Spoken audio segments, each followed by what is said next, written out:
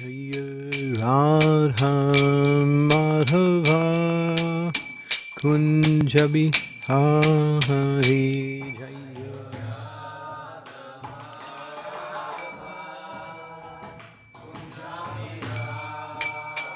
Jaya Radha Madhava Kunjabi Hari Jaya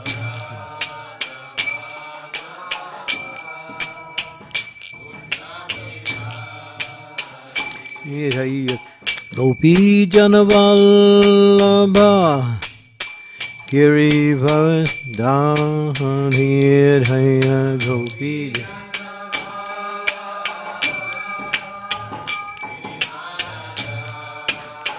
Jaya Gopi Janavallabha Giri Varadhani Jaya Gopi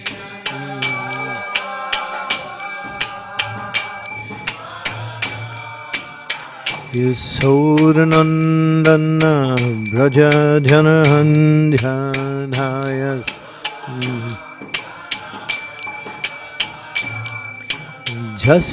झसोरनन्दन व्रजधनहन्ध्यानाय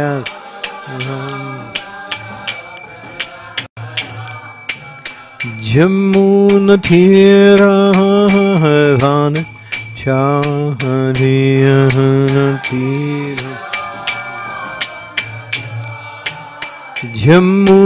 धीरा है भार चाहमुन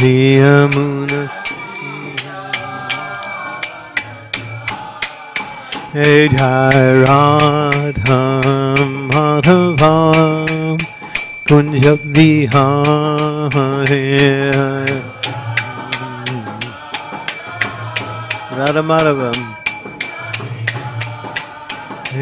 Jai Radham Madhava Kunja Vihari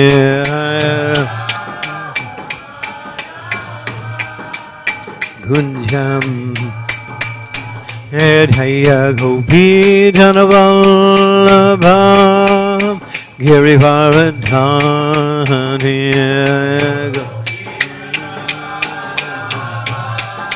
Giri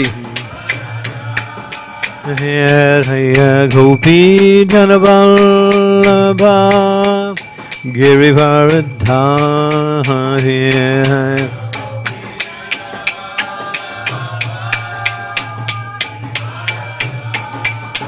Yasodhanandana Bhaja Janarhandhanaya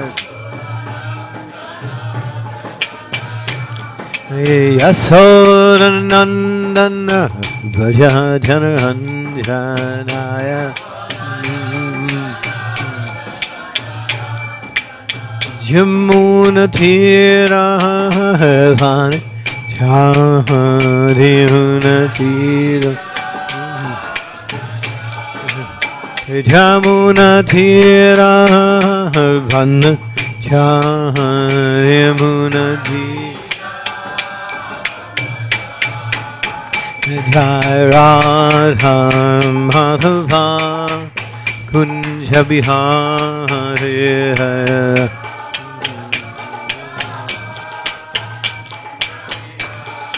Jai Radha Madhava Kunja Bihari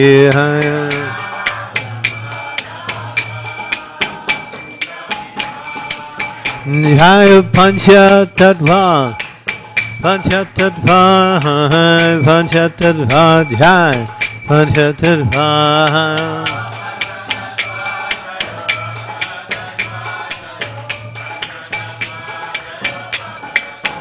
Nihaya Ghoranithai Ghoranithai Ghoranithai Jai Ghoranithai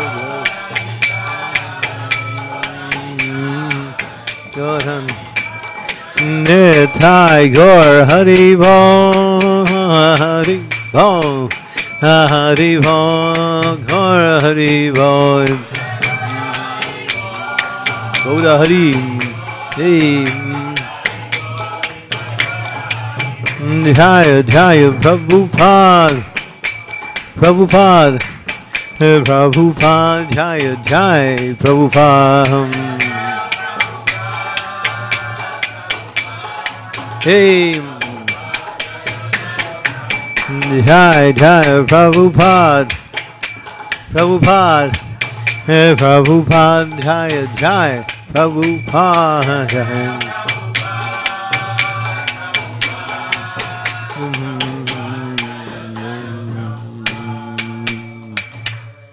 Srila Prabhupada ki jai Gaur Premanande Hari Hari Hari Hari Krishna. Srimad Bhagavatam Canto 8 Chapter 12 Mohini Murti bewilders Lord Shiva verse number 12 Avatara Maya Drista Ramamanasya Tegun Tegunai. Soham Tam Drastam Ichchami. Yate Yoshid Vapur Dristam hmm. Avatara Maya Drista Ramamanasya te Soham tam drastam ichchami Yate yoshad vapur dristam. Hmm. Avatara maya drista. Ramamanasya te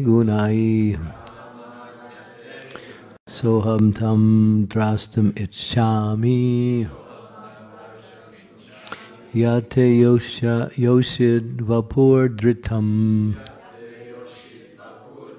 Hmm.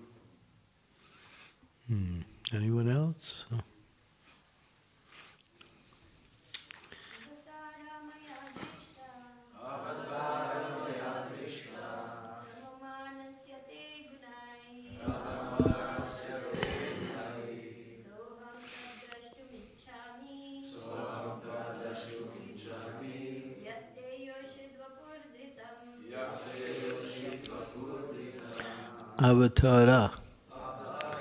Incarnations. Maya. By me. Drista have been seen. Have been seen.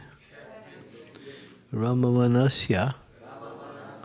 While you demonstrate your various pastimes. Te. Of you.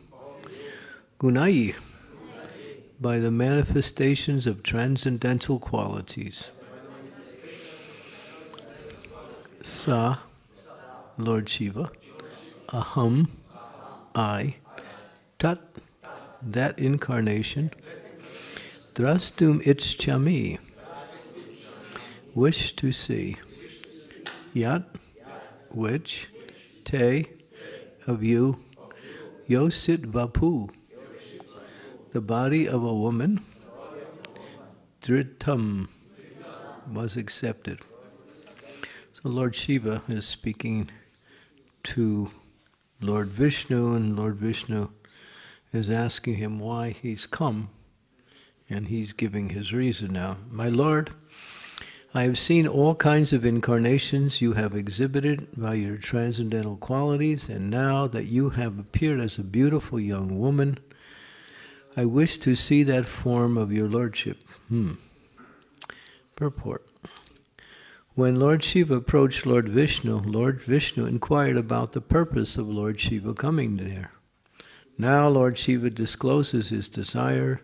He wanted to see the recent incarnation of Mohini Murti, which Lord Vishnu had assumed to distribute the nectar generated from the churning of the ocean of milk. Hmm.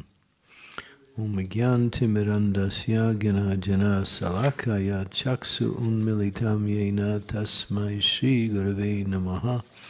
Nama Om Vishnu Padaya Krishna Prastaya Bhutale Shri Makti Bhakti Vedanta Swami Iti Namine Namaste Saraswati Deve Gauravani Pacharine Nirvisesa Sunyavadi Pastyatya De Satarine Panchakalpa Tirubhischa Kripa Sindhu Riebacha Patitanam Pavanebhyo Vaishnavebhyo Namaho Namaha Shri Krishna Chaitanya Prabhu Nityananda Priya Daita Gadadhar Sivasati Gaur Bhaktivinoda Hare Krishna Hare Krishna Krishna Krishna Hare Hare Hare Rama, Hare Rama, Rama Rama, Hare Hare. Hmm. We can look at this from from Shiva's point of view from two points. That the great souls always want to experience each and every incarnation of the Lord. And in another way, he is not understanding what is about to happen. So both of them are seem to be conflicting here. curiosity. Well, that curiosity is transcendental because all of the forms of the Lord are what we say attractive, powerful, and exhibit certain characteristics and qualities. Mm-hmm. What is that verse? Uh, uh, from the Brahma Samhita. Angani yasya akalans riti manti pasyanti panti chirandaganti ananda chinmaya asvadu govindamadi purusham tamaham bhajami. That's not the verse, there's another verse. Where one candle lights up another candle, and then that candle lights up another candle, and that candle is lights up another candle. So you can see that all of the candle have the same candle power, but the original candle is the source of all the candles. So Krishna is the original source of all manifestations and incarnations, but he has innumerable and uncountable, they even say unlimited, manifestations of his forms, and each one of them is equally powerful, but they don't exhibit the power of the original candle. They exhibit according to their particular uh, manifestation. There's a purpose for why the Lord appears in a certain form. There's a mission, there's a purpose, there's something He wants to accomplish, there's something He wants to exhibit. So when He appeared as Mohini Murti, He wanted to bewilder the demons the demons are attracted to the beautiful forms of the, opposite sex and they become infatuated by that. And this is their na- that's the nature of a demon. A demon is full of qualities that are of the material nature lust, anger, greed, illusion, pride, envy. Uh, uh, what else? Did I miss one? No, there's six qualities, yeah. Six qualities. So this lusty desire to fulfill one's uh, desires for sensual enjoyment comes in the form of the attraction of the opposite sex. That's one form of that lusty desire. So, in order to get the demons to uh, give up their nectar, uh, the Lord, because they had stolen the nectar from the demigods, and they wanted to take it for themselves. So Krishna, siding with the demigods in this particular case, sometimes he's neutral, and sometimes he sides with the demigods. In this case, he sided with the demigods because the demigods came to him for help. And therefore, he uh, manifested himself in this beautiful form of Mohini Murti. Krishna is already attractive. And Prabhupada always says the female form is even more attractive than the male form. So when you imagine when Krishna takes a female form, Haribol. Don't imagine. Shiva imagined and he got in trouble.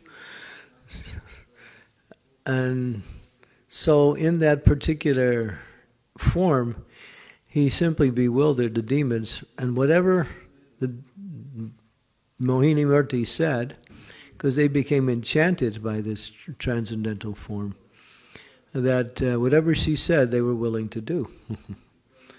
so, she just said, Give me the pot of nectar. Hmm, and they did. They trusted her because for whatever reason. They say you shouldn't trust a woman, but anyway. well, that's another thing. But that's that's not uh, not a Krishna conscious woman. A Krishna conscious woman can be trusted. But somebody who's materialist, like it says, never trust a politician or a woman. There's a, there's a statement like that. Because they have an agenda. what is that agenda? They don't tell you until it happens. then it's too late. But in this particular case, uh, using that female attractive nature, and the Lord could have came in any other form, but He took that particular form because He knew it would be the most effective for the demons. And he stole, he got the nectar back. Of course, Rahu, he figured it out, and, he tried to get a little bit, but he got his head cut off. And by the sun and the moon, they they they, they uh, they said, well, this person is not a demigod, he's a demon, and he's coming to get the nectar. And so Krishna threw his Sudarshan chakra and gave him a haircut just below the neck there. So, and his head floated around and became a planet, which we know is the Rahu planet, and that's the. Uh, and sometimes we have this. What is it called? Uh, eclipse. Yeah. So Rahu comes in front of the sun and the moon, because he's attacking the sun and the moon. So an eclipse is Rahu's head, now an actual planet, because he drank that nectar and the nectar got to got this far. His rest of the body was destroyed, but his head remained immortal because he was able to get the nectar. So that planet, and they say that's, that these eclipses, the solar eclipse and lunar eclipse, are very inauspicious. And you see, people in the West, they don't know. But uh, in India, I'm sometimes I'm in India when they have an eclipse and everything stops. People go to start worshiping the Lord. They go down to the sacred rivers and bathe during the eclipse. Nobody cooks and nobody eats during the eclipse. because if you say if you cook during the eclipse and then someone eats that food, it becomes inauspicious, becomes poison. so yeah, so this um, the eclipses are considered to be very inauspicious. and it's, it's you know, it's a, it's a planet. It's a, it's a very low planet. Now, but Shiva, he's, um, he's, um, he's curious. He wants to see this beautiful form of the Lord. I remember I was giving a class in in Chowpatty in Bombay Radha, Radha Gopinath temple and one brahmachari, he said, uh, should we create a form of Mohini Murti for worship in our temples? that was the question I got in, in the class. kind of a tough question. so, Well, I, uh, I, I, said, uh, I think there will be no brahmacharis left after that form was created. and uh, Swami was there and he was laughing, so I thought it was a good answer. so, uh, yeah, so there would be no brahmacharis left. So he said, he said, should we ask the GBC to authorize that form of worship? And I was thinking, forget it, you know, just read about it. That's all, because it's dangerous. Yeah, yeah, yeah. It says that many of the great conquerors in the world they can conquer nations but when they're alone with their beautiful wife or or consort they're conquered. So who's stronger a man or a woman? Well the women have more attractive power and therefore a man becomes something to have that's why it says uh, the association in woman and men is like butter and fire And who's the fire? Mataji. And you become the butter, and then all of a sudden you're all over the floor, you know. You're melted. so Krishna has created this female form in order for us to somehow or other think there's some happiness in this world. and so, you know, and, and somebody, sometimes devotees think, I'm fixed. Nothing can attract me. I remember it was one devotee, he was, he was chanting japa in one temple. And he was just chanting, chanting japa, and this beautiful girl came. It was in Croatia, actually. she walked in the door, and he dropped his beads, and and then I think he forgot what round he was on. Maybe he didn't care either. I don't know. so, yeah. So uh, sometimes you know, so Krishna can can create. Sometimes you think, well, you know, you know, I'm not going to be bothered by that. I'm fixed in my Krishna consciousness. Good luck. Look what happened to Lord Shiva. Of course, that was Krishna. But there's always some female in the world that can bewilder you, so don't think you are so fixed in Krishna consciousness. That's the power of the opposite sex, and that's why it was created in order to keep the living entities situated in the material world. Pumsam strina mituni bhava metan tayor ivata avgati ahur ato griha shetar sutapta vatayam janasa yamaham mameti. Hmm. Hmm. Recites this verse. The basic principle of material life is the attraction between male and female. And then he says, based on this misconception, he doesn't say conception, misconception, the hearts of these two could tie together, and then atogriha kshetra sutapta vitayar. Then you have home, you have children, you have land, you have respond, and it is and jasamoham meti. These are the the I and mind principles. This is my wife. This is my house. These are my kids. They look like me, so they must be my kids. Maybe they look more like my wife.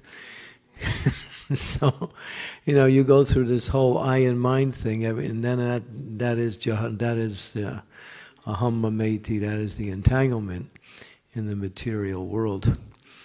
So if one can break the attachment between for attraction to the opposite sex, there's only one way you can do that. Only one.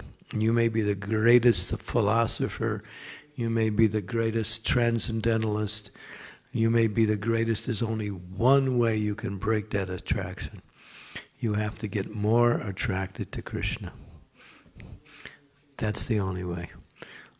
Your philosophy, all of your you know, intelligence, all of your determination cannot break that attraction. It's too strong. Only when one gets attracted to Krishna can then one can overcome the attraction to the opposite sex. Just like sometimes, I've seen it in temples. It happens everywhere. There's one brahmachari in the temple, and Mata Mataji, and she's, you know, she's got, mm, she's got the binoculars on him, you know. She zeroed him in. This is the one I'm going to get. and then she goes before the deity and prays, My dear Lord, this will be my perfect husband. And you are the most wonderful person. you can fulfill all desires. And so this is my desire. My obeisances. and I, I saw it in New Vrindavan. There was one girl, she was coming there every day in front of the deities crying and she wanted this. He was the best of all the brahmacharis in the temple. and, and he was the leader of the brahmacharis, in fact. And he was like really good looking guy, very intelligent, but very fixed in his Krishna consciousness. And she was really determined to get him, really determined to get him. And she was, you know, I think she tried every prayer that's in the Shastra. she was really determined. Because when women get determined to get a man, be careful. they are good. They can do it. So, uh, so uh, he was a little affected by that, and he found out.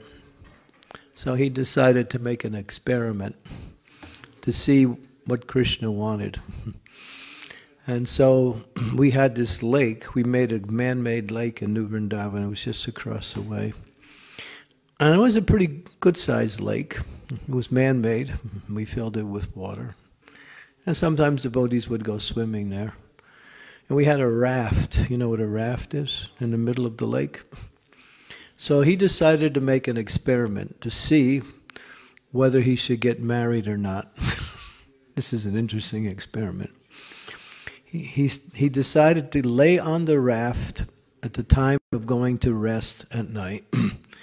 and then, if he woke up on the western side, he would get married, and if he woke up on the eastern side of the lake, he would stay brahmachari. True story.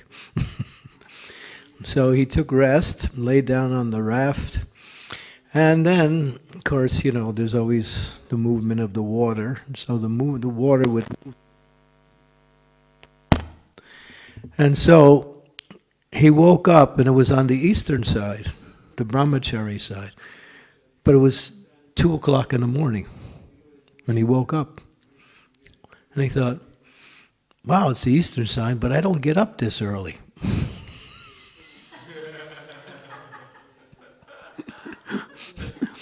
So he went back to sleep. Guess what? Swaha. Swaha. Throw your grains. Swaha. so he, he wound up on the western side, and there, there was shortly after that the wedding bells were ringing. So gets we get for oversleeping.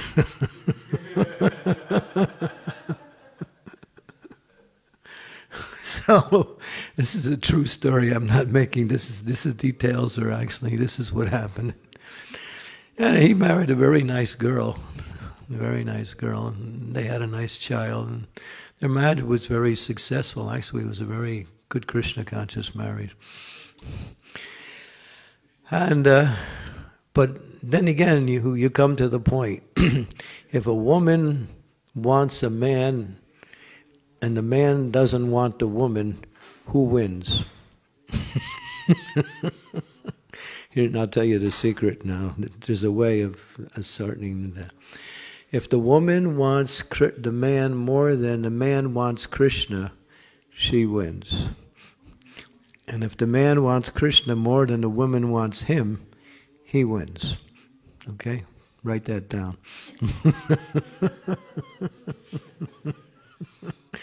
So, ladies, you can juice up your energy levels and see if you can uh, increase, and then the men can become more Krishna conscious, and then everything will be better. so, anyway, that's pretty much the situation. Mohini Murti, I mean, when the Lord is beautiful in all his forms, but when he becomes a woman, Lord Shiva is dearer. He is the personification of being unaffected by anything material. In fact, young girls worship the Shiva Linga to get a good husband.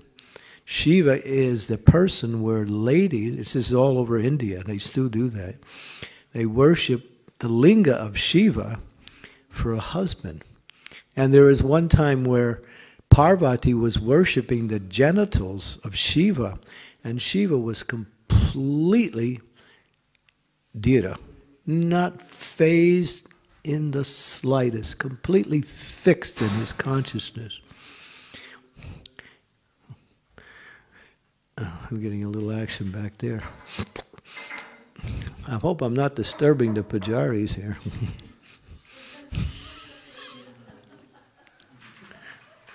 Jai. CC Panchatattva Ki Jai. There's no Mohini Murti Didi on the altar yet. Okay. so, and, G, and so he's Shiva, Parvati's worshiping the, the Prabhupada talks about the, the genitals of Shiva.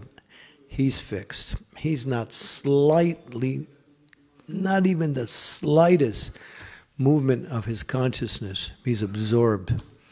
But when it came to Mohini Murti, you read the story.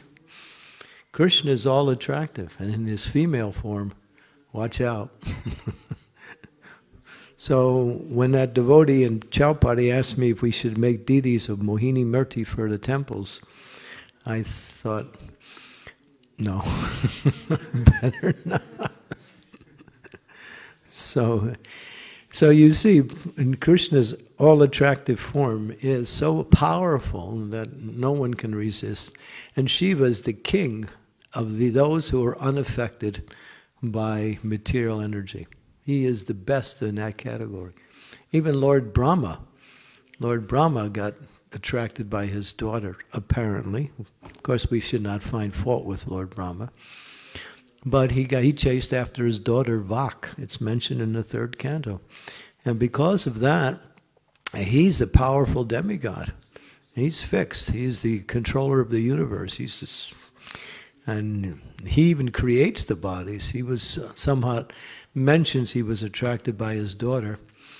And then he had to give up that body of Lord Brahma, and that body became fog. Just like the other day when we had, I was noticing there was some fog. We were in Croatia actually, and there was fog all over. So one devotee asked me about fog. I said, fog is actually sex desire. because fog was created from the body, body of Lord Brahma. So when there's an increase in sex desire in the energy, the atmosphere becomes foggy. yeah. And that's the body of Lord Brahma when he gave it up because of having a, a wrong attitude towards his, uh, towards his own daughter, like that. But Prabhupada said, be careful, don't find fault with Lord Shiva or Lord Brahma for being attracted in that way he said, Prabhupada says, these particular pastimes of Brahma and Shiva being attracted for the female form are for you. Don't ever think you're so fixed in your Krishna consciousness that you can never be attracted. Hmm. That's why the Shastras say one should not be alone with their mother, a, a brahmachari, or a man should not be alone with his mother, his sister, or his daughter. Yeah. Bhakti Siddhanta Saraswati, he's, I mean, he's one of the most powerful acharyas. He was with a group of his disciples, and one of his disciples' daughter was there. So she was a young girl, and he was an elderly man. And she said, Guru Maharaj, I would like to speak with you. He said, Yes, you can speak. She said, No, no, I would like to speak in private. He said, I'm sorry, if you want to speak something, you can speak here. he wouldn't even go in private with the daughter of one of his disciples who was just like his own granddaughter. She was, you know. So he set the example, and Prabhupada also like that. Prabhupada also. Was very strict in this category, and so uh, so that helps to keep the proper atmosphere or the mood in the temples like that. So association with the opposite sex should only be done for the sake of executing devotional service and only a limited amount of time, not like we expend so much time in that association. Because the senses, the senses are like servants or serpents. The seven senses can jump anytime. We have the example of Saubhari Muni. Saubhari Muni was was meditating underwater. He was a great Muni. He was very powerful. All of a sudden, he saw two, two fishes engaging in sex activity in the water. He became disturbed by that. And because of that, he gave up his, his position as a Muni and he got married. He married 50 girls, actually. he had 50 wives. And that's the whole story. That's mentioned in the ninth canto. You'll come to that particular pastime. So, this attraction to the opposite sex is so powerful uh, that it's the, it's the strongest force in the material world. So that's why mm, the word woman in the Bhagavatam, when, when the word woman is used, it does not necessarily mean female. When you hear the see the word woman, it does not mean female, it means opposite sex. So the scriptures say, for a man, woman is woman, and for a woman, man is woman. Hmm, that's how it's understood, like that. Anyway, uh, we have to get become more and more fixed in our attraction to Krishna. As we develop our attraction for Krishna, then the attraction for the material energy becomes less and less and less. And then you have the example of Srila Haridas Thakur. I mean, he was approached in the dead of night by a prostitute and she was the most qualified and most attractive prostitute in the whole area. She was famous. She was rich because she had attracted so many persons. She was living the life of luxury. So she was commissioned by one envious governor to make Haridas fall down. And she came in the dead of night. and Haridas was there. And she sat down and she started to exhibit some of her female expressions. And she said, Oh, Haridas, you are such a beautiful man, and I am also very qualified. I think us coming together is by the will of providence. he said, Yes, I accept. And I think what you say is correct. But I have my japa to do. I have made a vow to chant uh, so many rounds every month, and I have not finished my my japa. So please be patient, and I will chant. And then when I'm finished my japa, I will satisfy your desire. So she sat there, and he was chanting Hare Krishna, Hare Krishna, Krishna Krishna, Hare Hare. Hare Rama, Hare Rama, Rama Rama, Hare Hare, Hare Krishna, Hare Krishna, Krishna Krishna, Hare Hare, Hare Rama, Hare Rama, Rama Rama, Hare. And then it became midnight. And he said, Oh, you're still here. Oh, I haven't finished my rounds yet. Please come back tomorrow.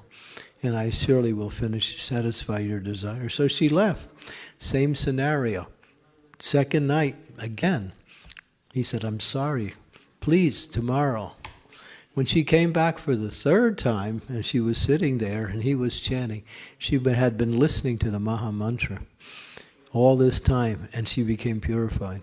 And then, then she started to cry, fell at the feet of Haridas, explained why she had come, and Haridas said, I knew you were coming, but I could have left this place because I know that rascal governor, you know, Ramachandra Khan, he is out to, to destroy me. But I wanted to deliver you, so I stayed. And she actually became a devotee. She said, I am your disciple, please instruct me. He said, Go home, take all of your wealth, give it to all of the brahmanas, put on a white dress, come here and worship Tulsi Devi and chant the Hare Krishna Mahamantra. And she was also chanting 333,333 names of God.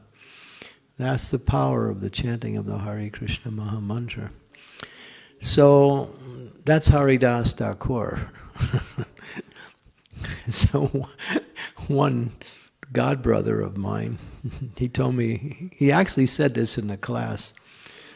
He was giving a class and I was there. He said, one of my disciples got a call from his ex-girlfriend and she said, I want to meet you. And he was thinking, you know, I don't really want to meet her. But anyway, maybe I can be like Haridas, I can deliver her. so,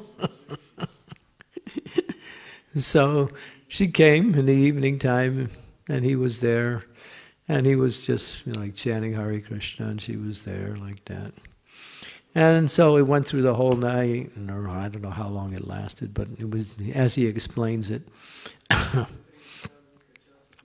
And then he came and he told his guru, you know, I didn't fall down. I was okay. He said, You fool, you fell down in the mind how many times? Your mind was disturbed.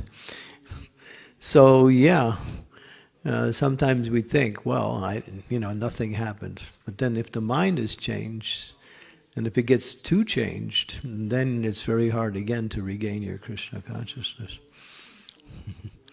So there is mental fall down also, which can lead, when it gets strong enough, it'll lead to actual uh, physical actions. So one should be very careful to keep the mind fixed on the lotus feet of the Lord in devotional service, because material energy is very, very, very powerful. Prabhupada used to chastise us. He would say to us, Western devotees, you do not fear Maya enough. That is your problem. He said, you, don't, you do not have a healthy fear of Maya. It's because of that. So I mean, we have the history of our movement, 40 sannyasis that were made by Krishna.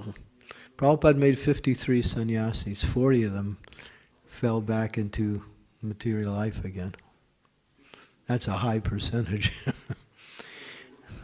And so, yeah, so one should not play around with the material energy and think, I'm so strong that I can be, you know.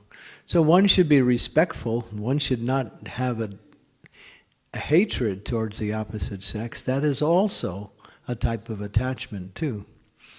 Aversion and attachment is also attachment, but in an opposite way. So, in order to overcome that, one has to be one has to make advancement in Krishna consciousness and one has to follow very carefully the etiquette for proper association. And if we do that, we'll always be in the best position like that. We give respects, just like Prabhupada used to say, we should always refer to women as Mataji. Even if they're young, still, they be, should be called Mataji or mother, like that. And then one, one lady, she was at, at Prabhupada's lecture when he mentioned that. And so she asked, well, yes, but what should women refer to men as? And Prabhupada said, son. son. So that way it keeps it away from the sensual mood like that. So uh, yeah, so this is um, the history of our movement is not being care careful in these types of association. So one should be very careful. And never one should never think I'm you know I'm like Lord Shiva or maybe even better I'm like Haridas Thakur. I'm I'm fixed. no, Maya is very very strong. So one one can always overcome the power of Maya only by the power of one's devotional service. Therefore, one has to develop attraction for Krishna in such a way that that attraction becomes the only attraction. And And that can be done by hearing and chanting the glories of the Lord, by worshiping the Lord, by offering beautiful prayers to the Lord, by serving the Lord. All of these things increase the attraction for the Supreme Personality of Godhead. okay. Any questions or comments?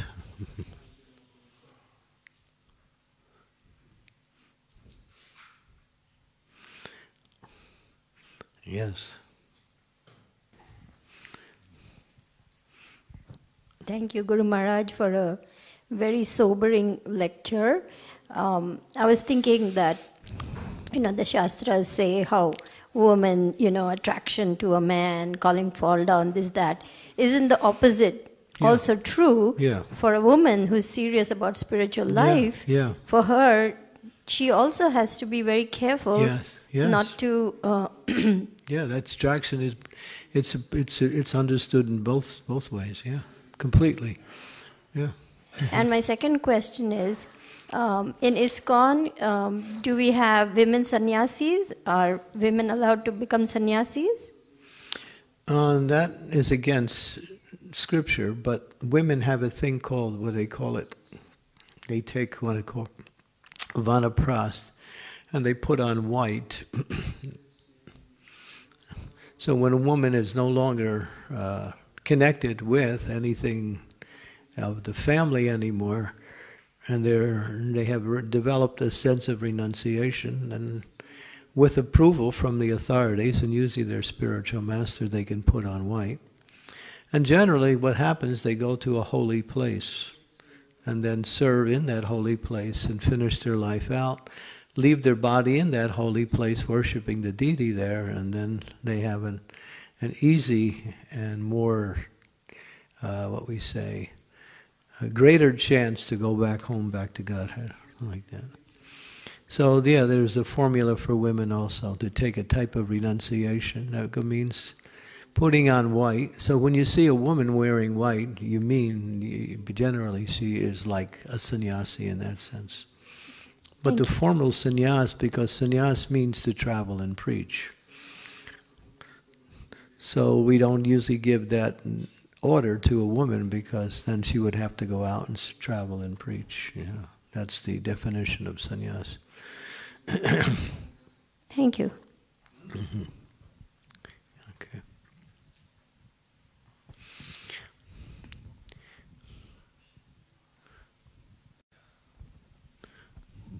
Okay, I, my question first. Okay. So you were you were speaking about this uh, this experiment that this uh, th- this brahmachari made.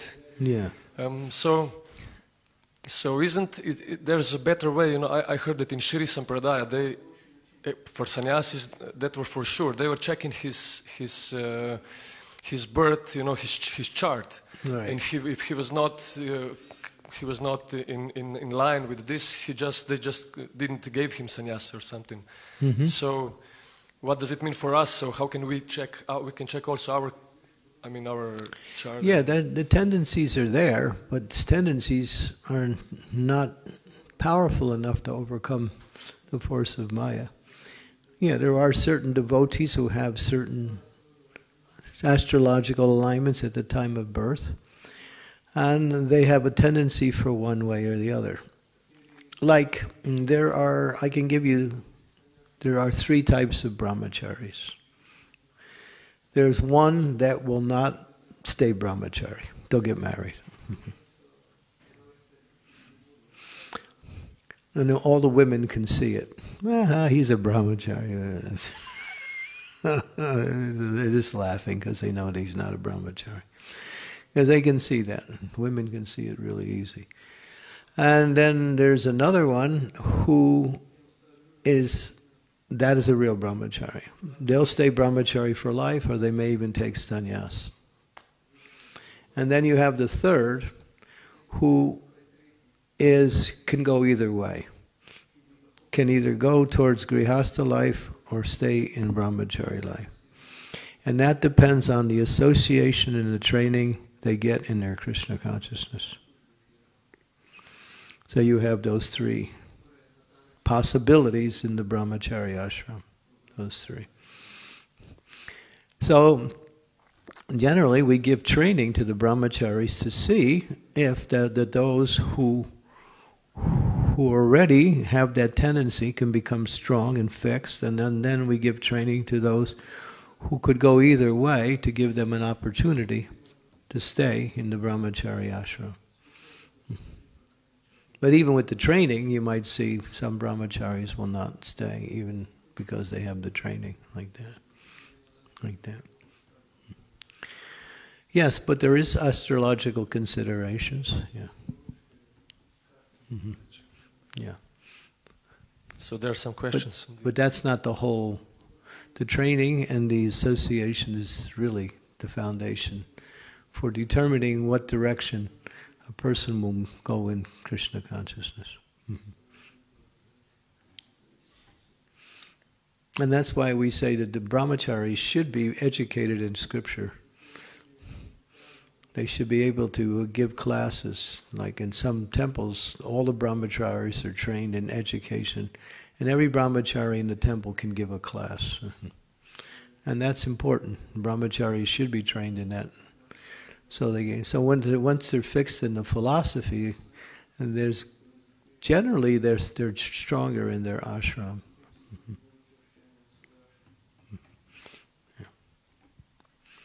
Yes. Okay. And you have a question from the yes from the, the Beryl. yes. Okay. Okay. Um, Avadutarai is uh, is asking. So the second offense to the holy name has two explanations.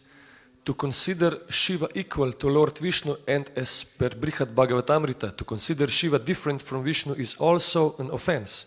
So the question, so whatever we think equal or not equal, we will always make an offense to the holy name. No. You should take that ten offenses, but we should understand that you should take that the that um, Ishwara Parama Krishna Satchidananda Vigraha Anadir Adir Govind. Krishna is the Adi Purusha. He is the source.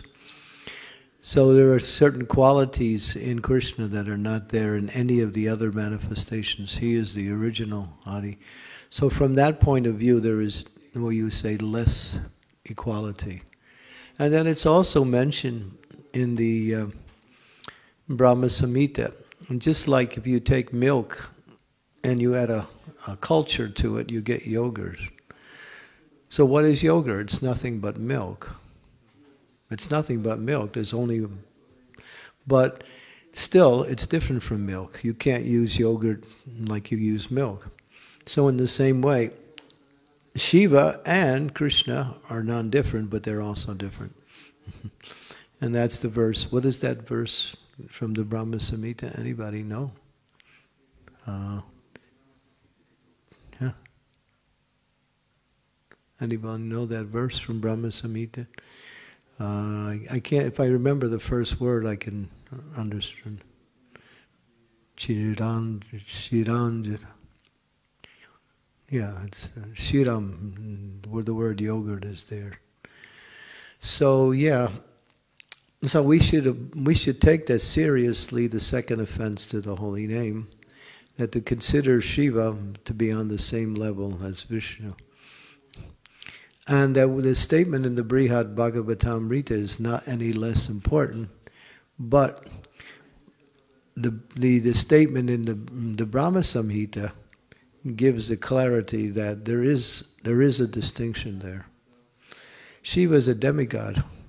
Vishnu is also a demigod. He plays the role of a demigod, but he is, he is the actually the source of the demigods also. So you, in, in, order to verify a particular point, you have to bring in many of the scriptures. And what is the superior scripture that gives the, the complete understanding? Just like in many scriptures, it says that Agni is the supreme Lord. In some scriptures, it says Shiva is the supreme Lord. In other scriptures, yeah, these two are mentioned. But they are mentioned for people who can't come to the stage of worshiping Krishna in devotion. So they can worship these demigods as the supreme, and then they will make advancement in that way. So when you put together all of the different, you have to come to the understanding, the highest understanding. Therefore, Srimad Bhagavatam gives the highest understanding. Mm-hmm. If there's any contradiction, an apparent contradiction. And contradictions appear because of different situations, not because of contradiction. In one situation, they're equal, in another situation, they're not equal.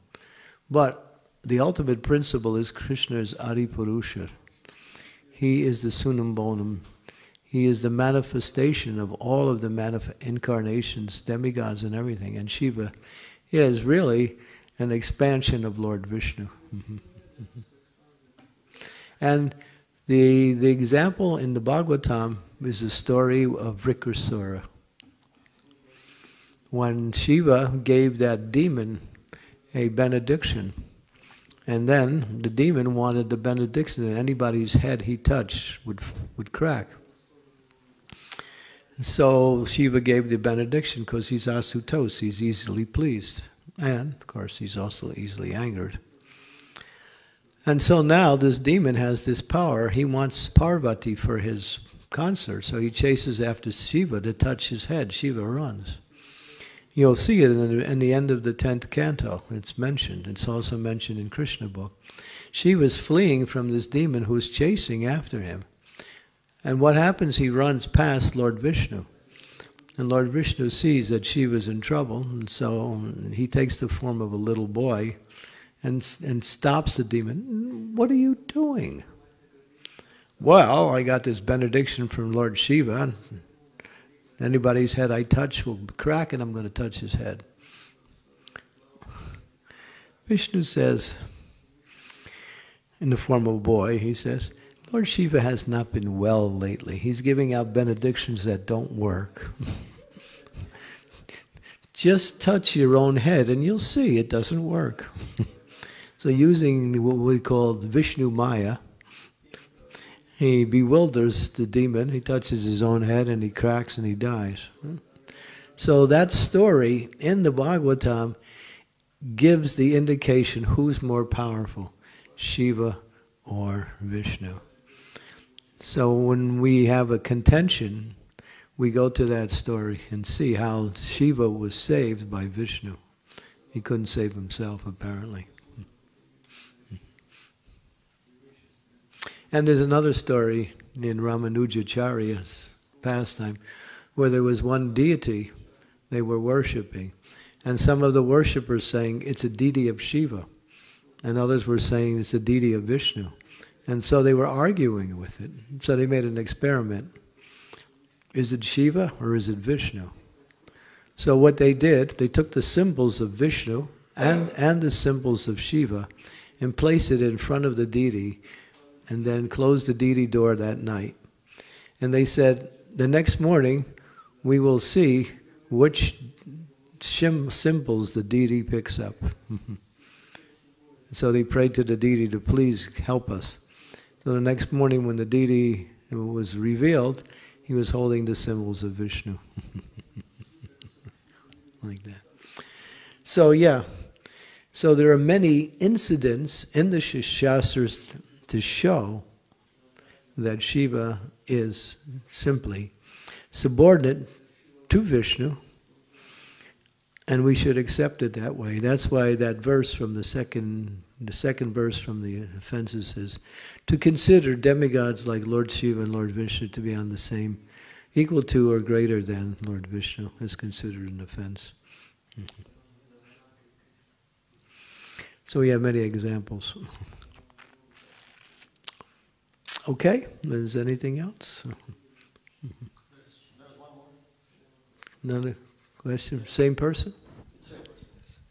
Um, it, how can we know um, that rejection is not the other side of attachment?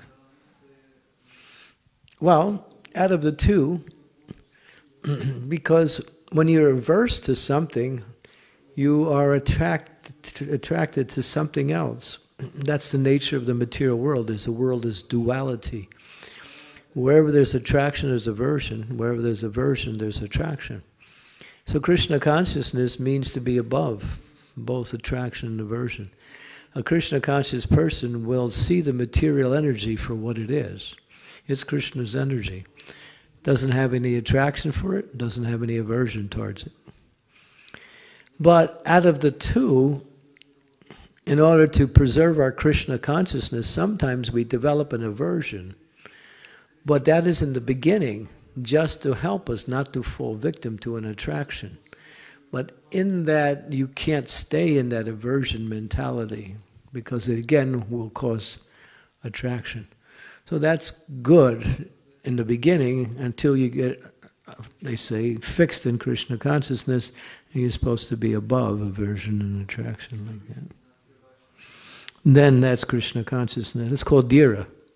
That's one of the qualities of a devotee. He's not moved by happiness and distress, mm-hmm. Not attracted or reversed. He sees the material energy for what it is. It's Krishna's energy, and it's working in a certain way. That's mm-hmm. all.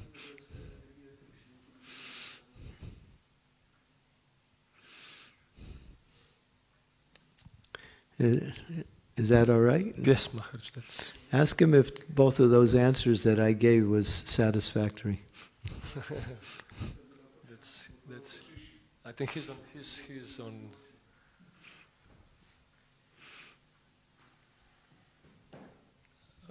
Ah, какого? Yeah, he, he's hearing, but is he satisfied? He didn't. He didn't say. Yeah.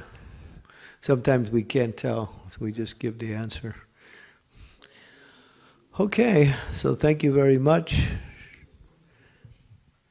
Srimad Bhagavatam ki jai. Mohini Murti ki jai. Lord Shiva ki jai. Srila Prabhupada ki jai. The all attractive Supreme Personality of Godhead, Sri Krishna, in his Vrindavan form ki jai.